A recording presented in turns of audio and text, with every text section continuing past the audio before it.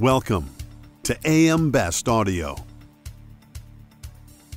Embedded insurance is rapidly transforming the insurance landscape, and technological advancements and data analytics are significantly driving that trend.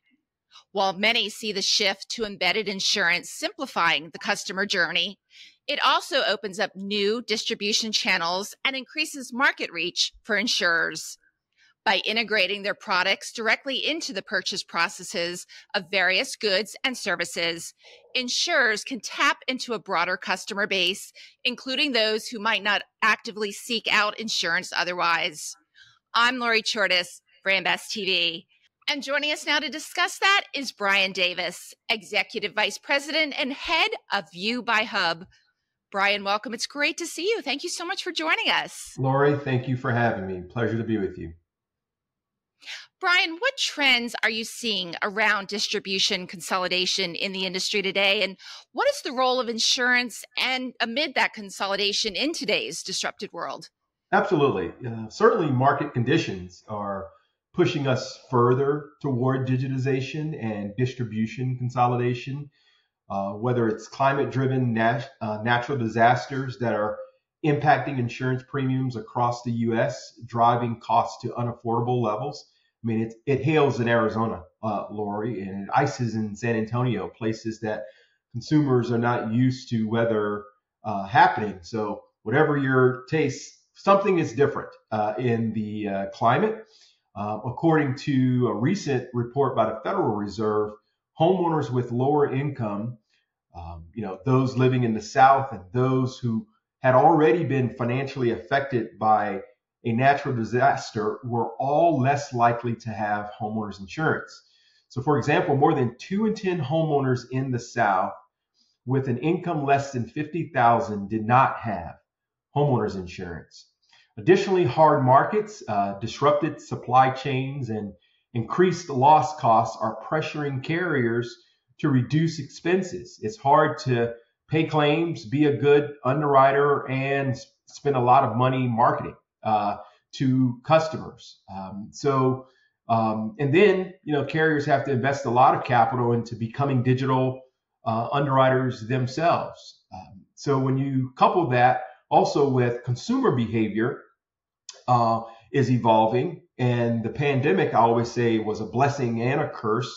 Um, consumers were forced into a digital world. We, we call them internally digital refugees uh, folks who would have never gotten on a Zoom call or a Teams call with their insurance agent were forced to interact that way. And in that forcing, they actually like it now. So that's resulted in you know consumers accepting new ways of interacting with uh, you know historically traditional uh, ways of going to an agent's office. Now you can Zoom in or FaceTime in um, and consumers are comfortable with that. So all of those trends together, Lori, are what's really driving um, distribution consolidation.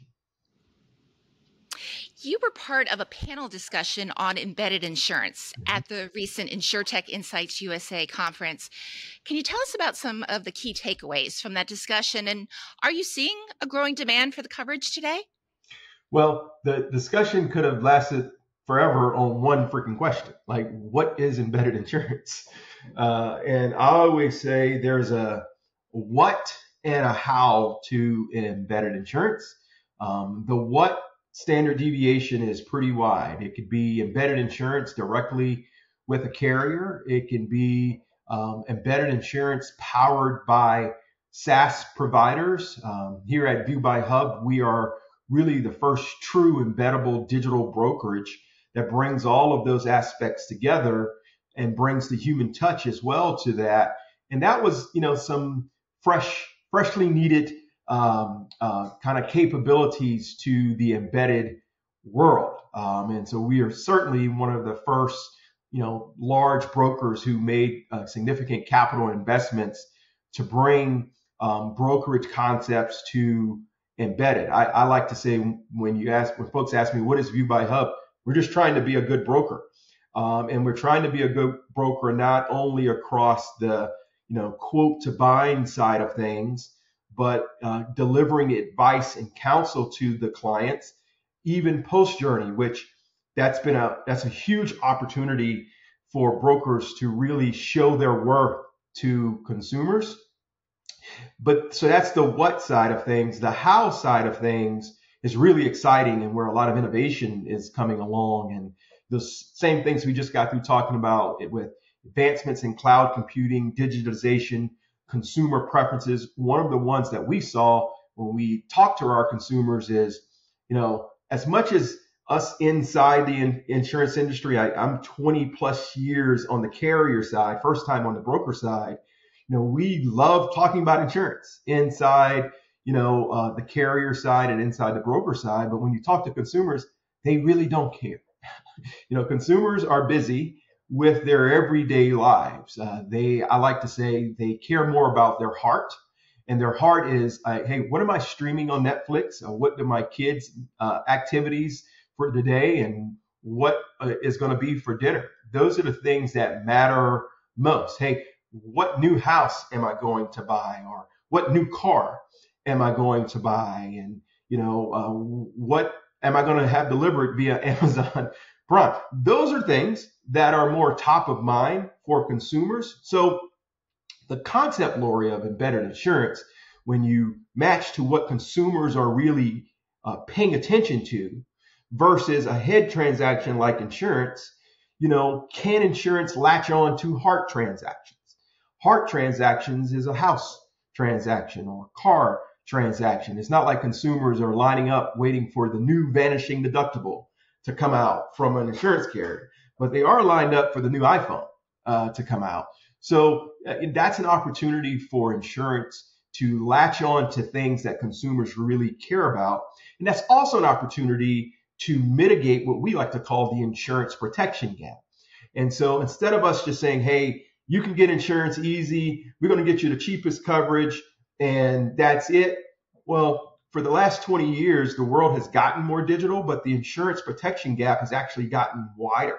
And that's a disservice we provided to consumers for the industry. So we think uh, VIU as a digital brokerage, giving advice to clients to say, hey, even though that policy is cheaper, that's not the right policy for you because you need actual cash value, I mean, uh, replacement costs on your home versus actual cash value. And customers just don't know what they're buying in, in a lot of instances.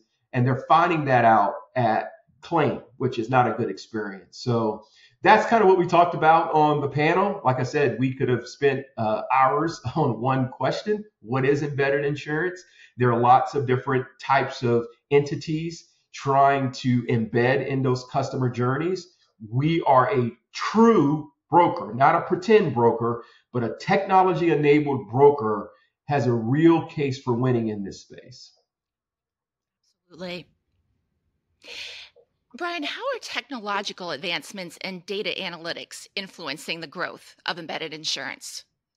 Oh, tremendous. I mean, these, particularly across, if you imagine an insurance value chain, Lori, from, hey, I'm just looking, I need to research, um, you know, what options are out there for insurance. Hey, I need to understand what ACV is, um, to all the way I need to buy uh, insurance, quote and buy, and all the way to, hey, I now have homeowners insurance and carrier just giving me a non-renewal notice or they're increasing my premiums, which that is the lay of the land going on right now. So there's a, there's a broad spectrum of customer involvement in the insurance purchasing journey.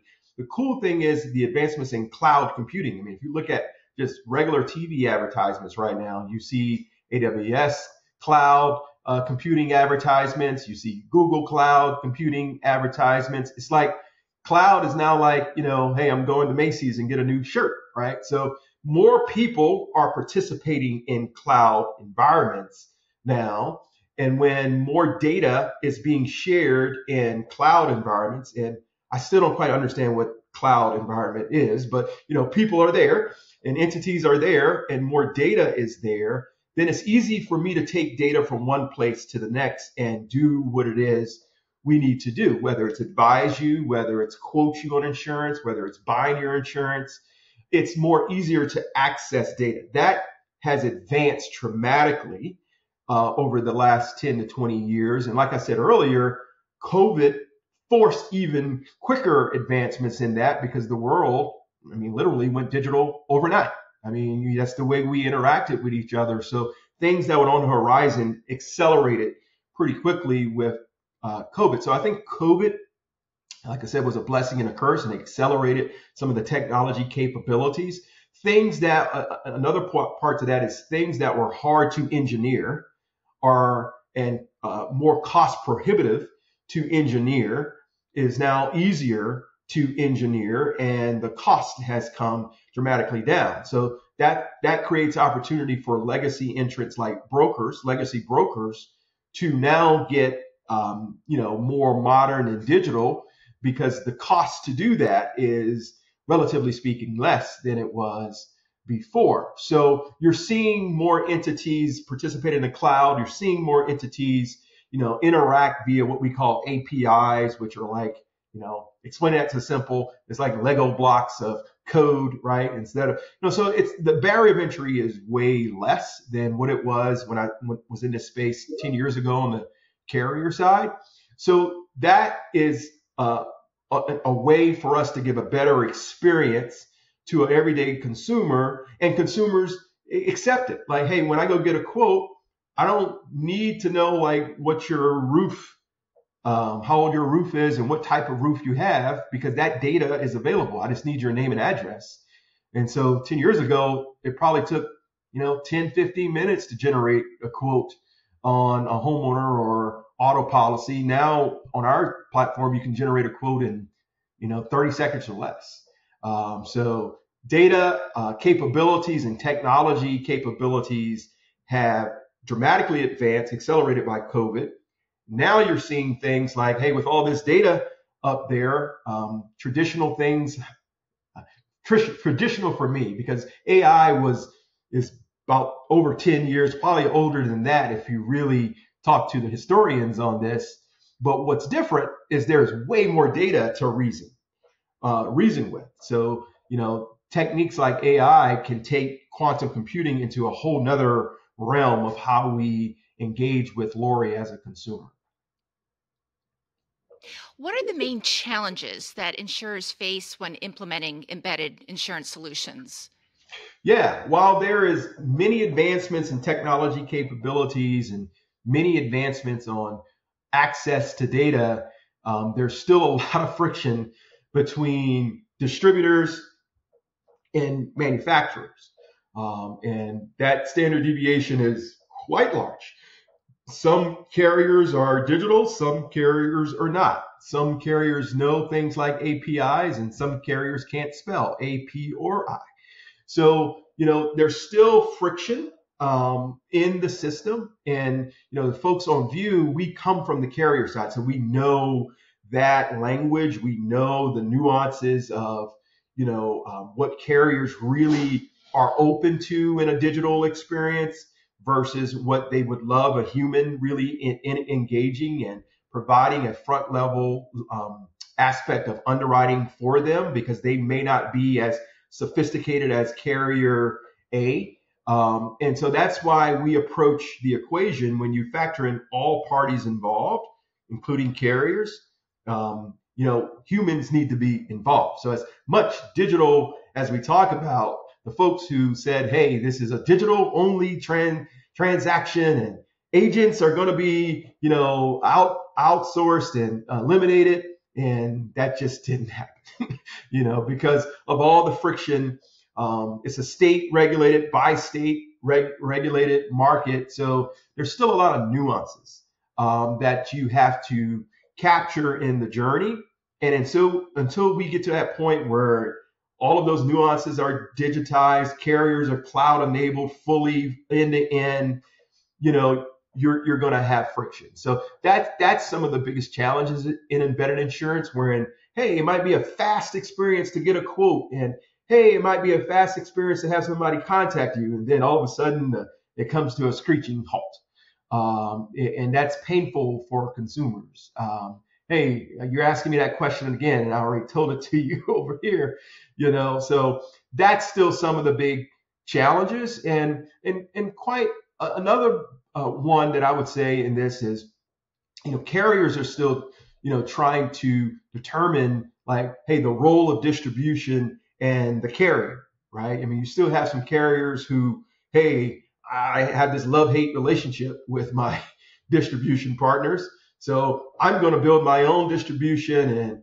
you know, come straight to the carrier and bypass the broker. And that's kind of been going on for, you know, beginning, beginning of time. And I think, you know, with costs increasing, with climate change occurring, I think you see a lot of carriers thinking about, hey, can I be a great distributor, great underwriter versus, hey, let me just be a great underwriter and partner with distributors. So I think we still have that challenge where, you know, we're frenemies in some cases instead of, hey, we're partners in others. So those are two big challenges that I would highlight. Customize your data experience. BestLink now offers an interactive company dashboard that provides company level intelligence in a fast, user friendly interface featuring interactive tables, charts, and Sparkline performance histories.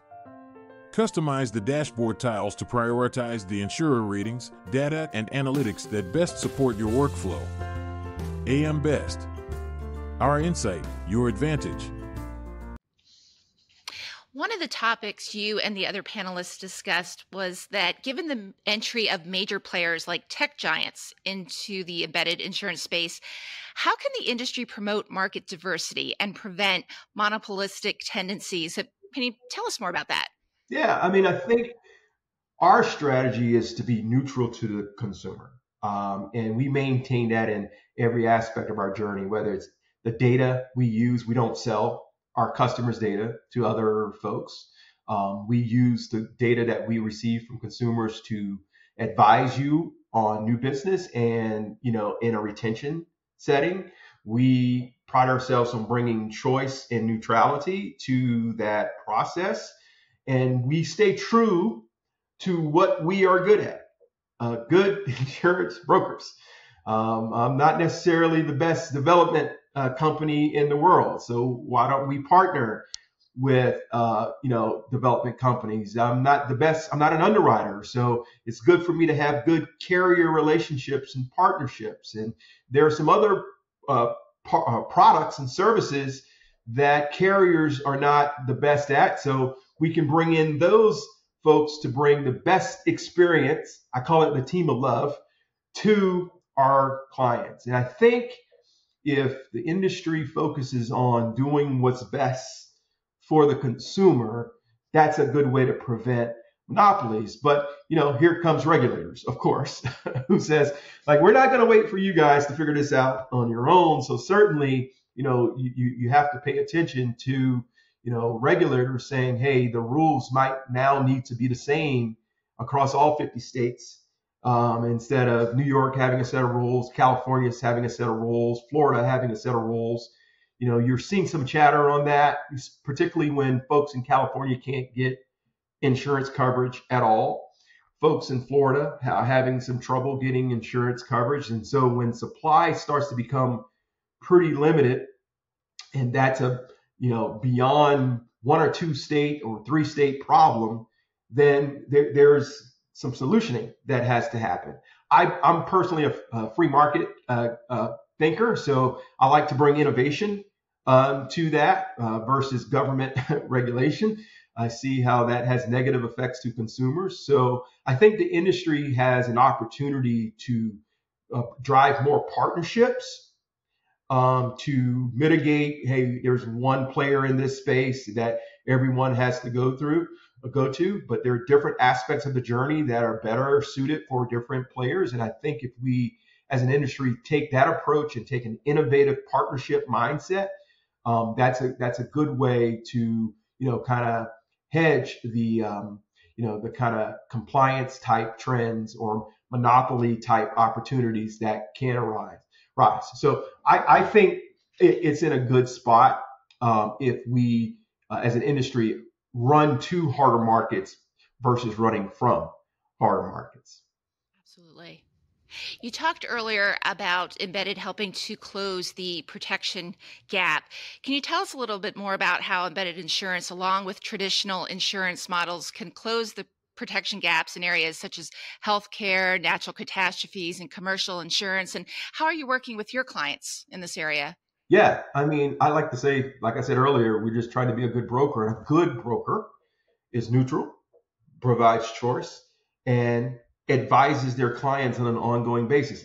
As simple as that sounds, that was not happening uh, in, in, a modern and um, you know technology-driven way that interacts to the client's world versus hey to get neutral choice and advice come to my office between the hours of 8 and 3 sit down and let's talk about your insurance needs. Well who does that in this day and age? Folks are busy. Um, and so but it doesn't mean that they don't want advice and counsel and that you shouldn't deliver that as a part of your value prop. And so that's a strong way to do that is make things easy for customers to say, hey, what should I do in this situation? What coverage should I have?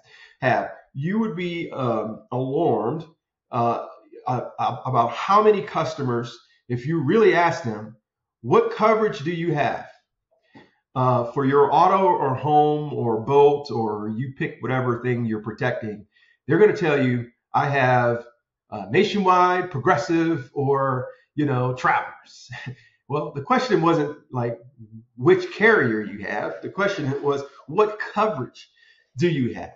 And who should be doing that for the Loris of the world, right? You could say, hey, carriers, well, take a carrier like Nationwide and had for years exclusive captive agents, and that was their job. But they're going to advise that client mainly on nationwide products. And so, what if the nationwide product is not the right product for Lori? They're not going to say, hey, I know you went nationwide. Let me go over here and get you to the right carrier. So, captives are not neutral and they don't bring choice. Um, and then you talk about an independent agent, right? Is really where this has been. But think about the traditional independent agent to get that choice and advice. You're going to drop the experience way down and who's going to go to the independent agent's office today and sit down and have a meeting? So, how can you bring the effortless experience to say a lemonade may have with choice and neutrality and advice that an independent agent has had and deliver that in a modern experience, right? And that combination, along with partnerships, um, you know, more manufacturers, more emergence of MGAs and E&S providers taking risk in harder markets is how we attack that insurance protection gap. A lot of consumers just haven't been advised properly. Um, so we want to close that by delivering advice in an ongoing manner in a modern way. Uh, so imagine a world wherein you're interacting with your uh, independent agent or broker through your phone and asking questions or getting delivered proactive advice and saying, hey, for $2 or more, you could increase your limits. You know, and, and that's real life example, Lori, of customers who could have gone from a higher one level of protection to another level of protection for $2 or more. And we had a client who was severely underinsured and we didn't advise them on what their insurance protection needs are. And it came back to man, that would only cost $2 more a month to do so. That's a disservice on our industry and what we're tackling. Bryan, how will consumer expectations and behavior influence the development and integration of embedded insurance in the coming years? And how will advancements in AI and machine learning shape the future of the coverage? Yeah, totally. I mean, well, first of all, you have to meet consumers where they are, number one. Um, as I said, they've told us their heart is not with insurance. So the, the industry really needs to get over ourselves and really focus on the consumer. Um, not everyone has a claim, so you know insurance is not top of mind. Um, so technology has evolved to allow insurers to embrace omni-channel strategies to provide seamless, personalized, and convenient experiences to customers. So I think the future of insurance looks like this. Um, an independent agent with uh, size and scale, Um, that's very important because you have to be able to have access and leverage with your carrier partners to open up supply markets. The second thing is customers can interact whenever, wherever, how they want human plus technology, not like how we want them to interact with us, but how they want. And this is very important because, you know, we assume that digital, digital, digital, digital, digital is the answer to all of our problems. And reality of it is maybe at certain stages of the value chain, that is correct. Maybe a customer wants to shop digitally, check out with a person, but checking out with a person doesn't mean, hey, come down to the office. Checking out with a person could be I'm texting, you know, um, video chatting like you and I are today. Um, I'm chatting, um, or there's a, a step in the in, in between there where it's an AI driven experience before you get to a physical human. So the the, cus- the customers' needs vary. They're all different. So you got to give them options on how they want to interact with you. And some people call that phygital. You know, um, that's a modern word to it. Physical plus digital. You know that that that that, that has some merit to it. Customer also customers' prior, priorities of choice, neutrality, need for unbiased and ongoing advice are delivered. Also, insurance options present themselves seamlessly during moments and times when risk needs emerges. So think mortgage originations, think new car purchase, think um, going on a trip. Um, that's that's the, the, the business case for embedded. Um, and then finally, a reduction in the insurance protection gap. Imagine Lori has a personalized individual score to say, here's your protection gap score based on all things considered your risk, your liability, you know, who's giving you that advice. So that's the world I see. Um, and, um, you know,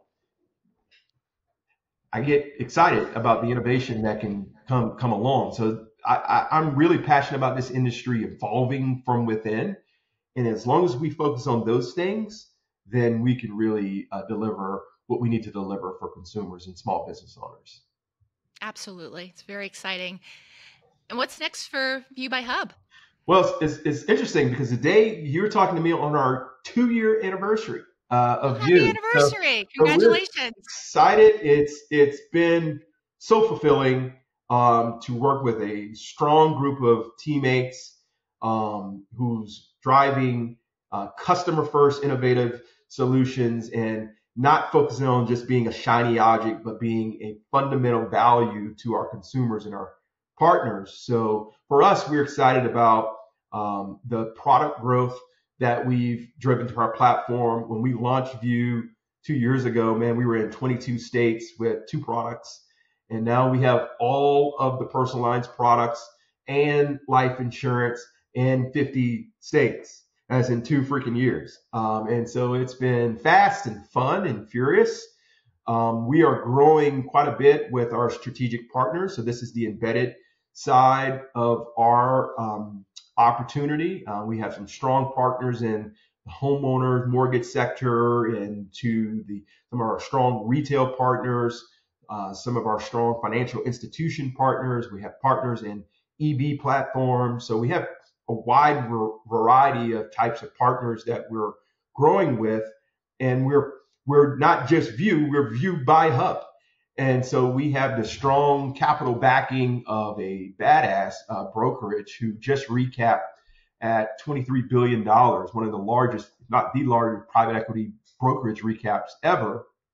So certainly they have charged us to grow from a acquisition standpoint. And so we are uh, very close on a few acquisitions. We made one last year into the retail aggregation space, and we have a strong runway to make more uh, to advance this thesis uh, that we feel really great about, and more importantly, our partners and consumers. Um, our, our our customer satisfactions satisfactions rating are really high because I mean we have some customers saying, "Man, I never know a broker could do all of this." for me. So, you know, what I'm excited about is those things that I mentioned earlier, delivering value to Lori and consumers. And as long as we focus on consumers and doing what a broker is supposed to do for consumers, I mean, I think that's a winning proposition. And so that that's what gets me really excited and, and the technology enablement and the processes and the people growth, all of those things come along for the ride. I'm the type of person that I don't sit here and say one thing changes the world. AI creates some new and exciting ways to interact with uh, our consumers. Um, but again, what are you interacting with them for is really what excites me more. So those are the things: M&A growth, product growth, strategic partner growth, um, and you know the team that we have inside to see those folks grow in in a short two years really um, is pretty encouraging and inspiring. Absolutely. Well, congratulations on very exciting past two years, and I wish you all the best in the years to come. Thank you. Thank you so much. Well, Bryan, this has been so informative, and thank you so much for taking the time to speak with us today. You bet. Thank you. That was Bryan Davis, Executive Vice President and Head of VIU by HUB. For AM Best TV, I'm Lori Chordas.